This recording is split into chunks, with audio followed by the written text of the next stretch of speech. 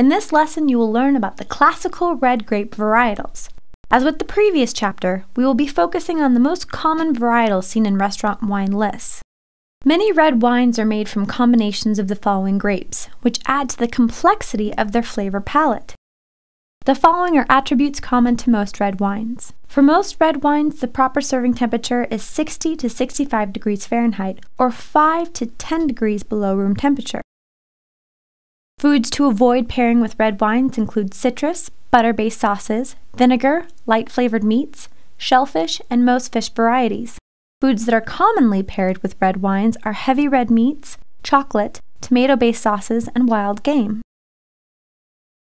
Cabernet Sauvignon is grown all over the world and does not require a particular soil type in which to grow, which makes it a very versatile grape to be grown. This grape is said to have been naturally crossbred between Sauvignon Blanc and Cabernet Franc in the 17th century.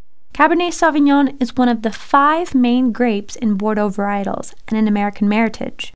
When young, Cabernet Sauvignon has flavors of black currant, vanilla, and spice flavors with aromas of cherry and plum. After a bit of aging, notes of cedar, tobacco, and even cigar can be found. Usually, Cabernet is aged in oak barrels, so it can take on a slight oak flavor. Foods that pair well with Cabernet Sauvignon are duck, strong flavored cheeses, rare sushi grade tuna, and mustard. Cabernet Sauvignon is a great wine to pair with desserts, particularly those of the chocolate variety. Half glasses are a great way in which to add to your guest's experience and your ticket price at the end of the meal. If dessert is being shared, offer to split a glass between the two. If offered with confidence and knowledge, your guest will jump at the chance to enhance their dining experience.